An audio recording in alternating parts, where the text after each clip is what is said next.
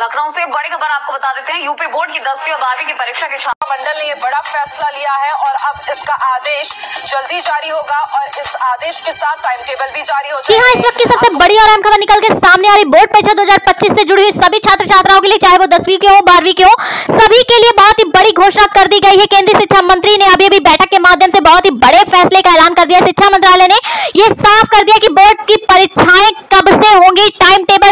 दिया चाहे वो किसी भी बोर्ड से संबंधित परीक्षार्थी हो Bihar Madhya Pradesh Rajasthan Chhattisgarh, Haryana, Karnataka, Gujarat CBSE ICSE UP किसी भी बोर्ड से संबंधित रहने वाले परीक्षार्थियों सभी का टाइम टेबल जारी कर दिया है और इसके लिए आप आधिकारिक वेबसाइट पर विज़िट करके टाइम टेबल आसानी से चेक व डाउनलोड कर पाएँगे। तो इसके लिए संपूर्ण जानकारी व अपडेट आज हम इस वीडियो में बताने वाले तो सभी छात्र छात्राओं को करना क्या होगा? कमेंट बॉक्स में अपने बोर्ड व राज्य का नाम कमेंट करके ज़रूर बताएँ, जिससे आपके बोर्ड व राज्य से जुड़ी हुई जब भी कोई महत्वपूर्ण खबर हमें मिलती है तो सबसे पहले हम आप तक पहुँचाने का काम करते हैं। इसलिए दोस्तों, चैनल को भी सब्सक्राइब कर लेना। तो चलिए दोस्तों, जानते हैं सबसे बड़ी खबर इस वक्त की जो निकल कर सामने आ रही, आप सभी को बता दें, सरकार ने बोर्ड परीक्षा 2025 देने वाले सभी छात्र छात्राओं को बहुत ही बड़ी राहत प्रदान कर दी। आप सभी को बता दें कि इस बार करोड़ों विद्यार्थियों ने बोर्ड परीक्षा के लिए आवेदन किया है, चाहे वो किसी भी बोर्ड से संबंधित रहने वाले परीक्षार्थी क्यों न रहे हो। आप सभी को बता दें कि इस बार काफ़ी सारे ऐसे छात्र जो की बोर्ड परीक्षा को लेकर डरे हुए हैं और उन्होंने अभी से ही तैयारियाँ तेज कर दी। तो आप सभी के लिए सरकार ने बहुत ही बड़ी गाइडलाइंस जारी की है कि इस बार किसी भी परीक्षार्थी को, चाहे वो दसवीं का हो, बारहवीं को डरने की बिल्कुल भी आवश्यकता नहीं, क्योंकि सरकार इस बार सभी परीक्षार्थियों को अच्छे से अच्छे अंक देकर पास करेगी और टॉपर भी बनाएगी। आप सभी को बता दें कि इस बार बोर्ड परीक्षा 2025 का पेपर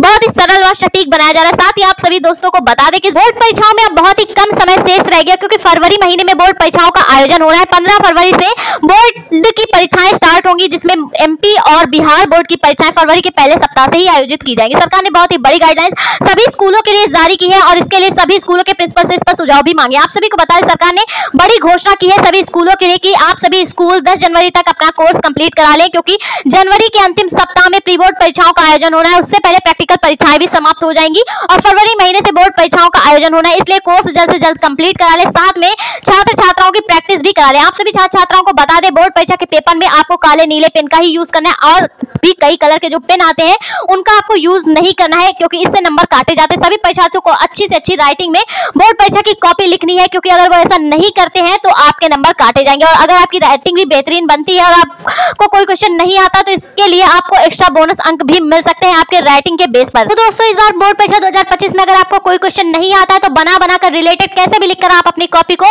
पूरा करें और सभी क्वेश्चन आंसर करके आए, ताकि आपको भी अच्छे से अच्छे अंक मिल पाए।